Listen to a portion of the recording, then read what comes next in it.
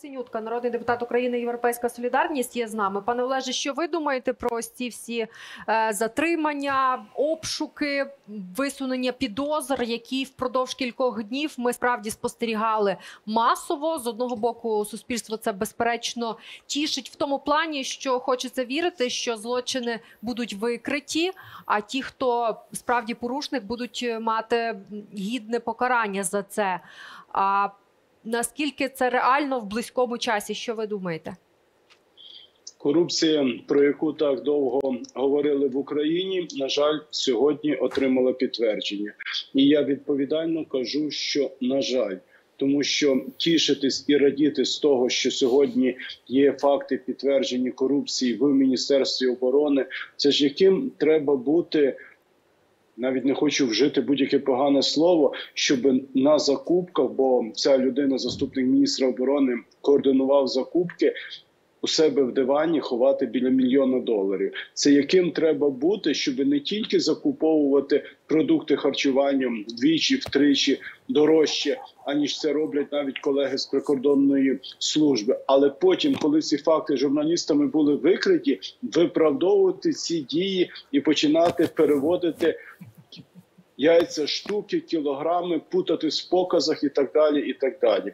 І, на жаль, сьогодні боєць, воїн український, який знаходиться на передовій в окопі, отримує інформацію, що в той час, коли він ризикує життям, коли побратимів поруч він бачить пораненими і, на жаль, загинувшими.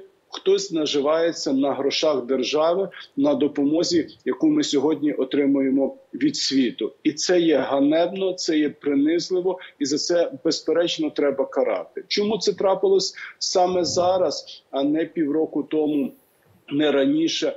Я переконаний, що це пов'язано все таки з приїздом американських інспекторів, які сьогодні публічно заявили про те, що вони готові прийняти будь-яку інформацію, в тому числі і від звичайних громадян України, в тому числі і від військовослужбовців.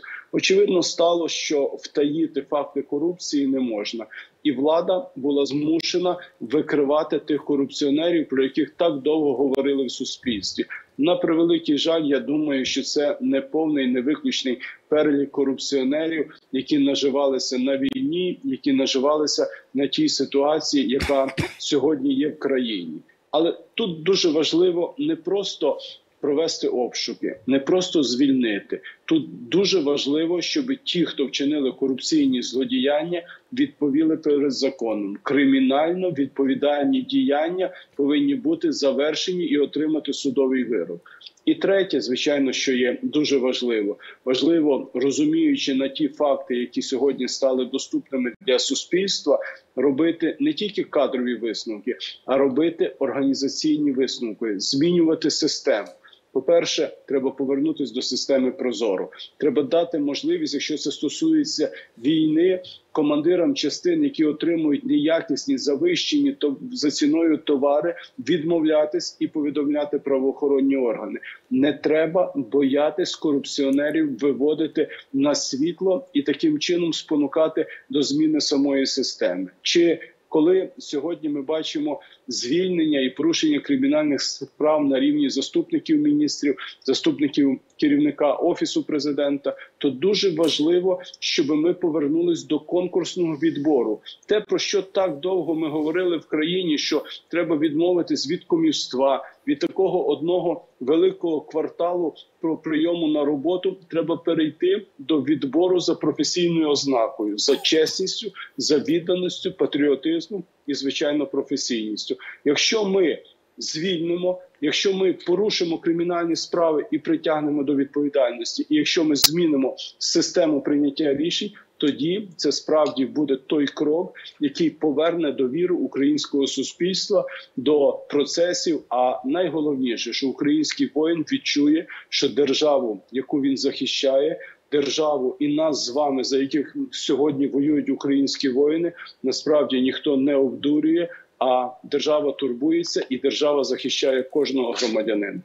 Дякуємо вам, пане Олеже. От наступна тема, про яку ми поговоримо, якраз і є про це, що військові справді на кожному етапі мають відчувати підтримку держави. І тут не лише про виплати йдеться. Військова медицина це та ланка, яка теж потребує докорінних змін. І е, знаєте, що Але ці даруйте, пані та, та. Якщо це правда, що після наказу, про який так почали багато говорити 1 лютого про скорочення виплат в армії, 2 лютого виданий ще один наказ, яким скорочено зони бойових дій, а це означає, що на фоні агресії і підготовки наступу, про який говорить в першу чергу генсек НАТО Столтенберг, про який говорить міністр оборони України, ми сьогодні позбавляємо українських військовослужбовців грошових виплат на фоні цих корупційних скандалів. Ну ви знаєте, я вважаю, що це диверсія проти обороноздатності країни.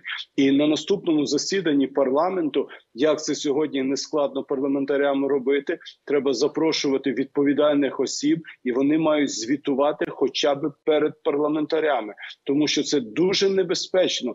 Посіяти недовіру в армії воїна до держави це обов'язково має бути предметом закритого, відкритого, але обов'язково діалогу і відвертої розмови. Сьогодні український воїн має відчувати себе захищеним. Український воїн має відчувати, що держава і люди, так як волонтери, працюють для забезпечення всіх його потреб.